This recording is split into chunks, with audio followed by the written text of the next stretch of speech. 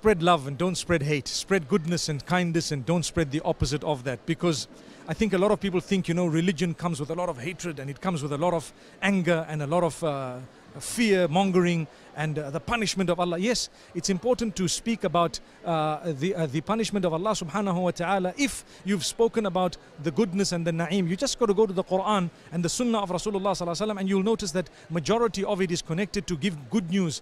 And that is the advice the Prophet sallallahu alaihi wasallam gave Mu'adh ibn Jabal and Abu Musa al-Ash'ari radiallahu anhuma when he sent them to Yemen. He says, Bashira wala tunafira. Give good news, don't chase people away from the deen. Uh, وَيَسِّرَ وَلَا تُعَسِّرَ Make things easy for people, don't make them difficult. So that's the same piece of advice that I have and it is very, very serious advice. It is advice that I have followed and I have never regretted following it because I believe uh, it is divine in its nature.